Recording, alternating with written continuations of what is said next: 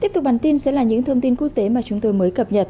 Ngày 20 tháng 5, Tổng thống Mỹ Joe Biden đã ký ban hành đạo luật về tội ác thù hận COVID-19 nhằm ngăn chặn số vụ hành hung, kỳ thị và phạm tội nhằm vào người Mỹ gốc Á, vốn gia tăng trong thời gian gần đây trong bối cảnh đại dịch COVID-19 bùng phát tại quốc gia này. Mời quý vị cùng theo dõi phần phản ánh do nhóm phóng viên Thông tấn xã Việt Nam thường trú tại Mỹ thực hiện. Đạo luật mạnh mẽ lên án các hành vi phân biệt đối xử nhằm vào các cộng đồng người gốc châu Á tại Mỹ.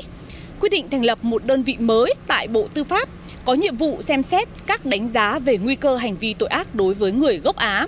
cung cấp nguồn tài trợ cho các bang để tạo đường dây nóng để báo cáo tội ác thù hận và đào tạo cơ quan thực thi luật pháp về cách ngăn chặn và xác định tội phạm thù hận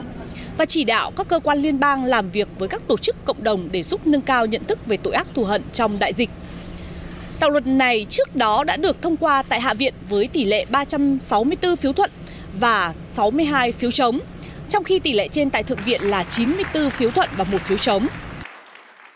Đây là một trong những đạo luật hiếm hoi nhận được sự ủng hộ của cả Đảng Dân Chủ và Cộng Hòa, cũng như được đánh giá là hành động quyết liệt mới nhất của chính quyền Tổng thống Joe Biden để giải quyết tình trạng thù hận nhằm vào người gốc Á tại Mỹ. Đặng Huyền, phóng viên Thông tấn xã Việt Nam đưa tin từ thủ đô Washington, D.C., Mỹ.